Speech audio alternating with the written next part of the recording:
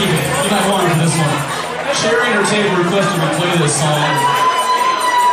I told her it was the last song of the set. It is a car song, of course.